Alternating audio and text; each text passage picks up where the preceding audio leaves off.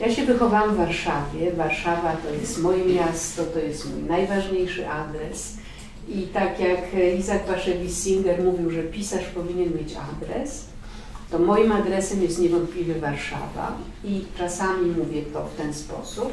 Warszawa to jest mój adres, a czasami mówię, że moim adresem jest polski język. I nie wiem, co jest bardziej moim adresem, ponieważ wychowałam się właśnie w tym mieście.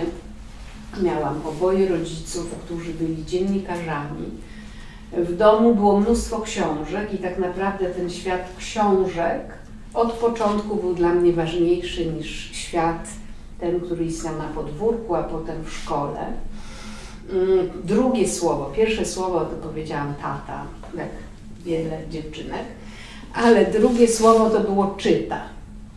Czyta i to czyta znaczyło, że ja chcę, żeby ktoś mi czytał, albo potem znaczyło, że czyta, że ja czytam. I przeglądałam książkę, jeszcze oczywiście nie znając liter, i usiłowałam naśladować te wierszyki Brzechwy i Tuwima, które mi mama czytała do znudzenia każdego wieczora mm, na dobranoc.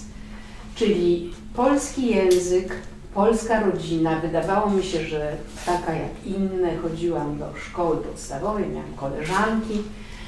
Wtedy, co jest ciekawe, byłam bardzo nieśmiała i tak właściwie nie potrafiłam się komunikować e, słowem mówionym. Bardzo się wszystkiego wstydziłam, dlatego w szkole, jeszcze podstawowej, założyliśmy z koleżankami takie stowarzyszenie e, Bractwo Listowe i pisałyśmy do siebie listy.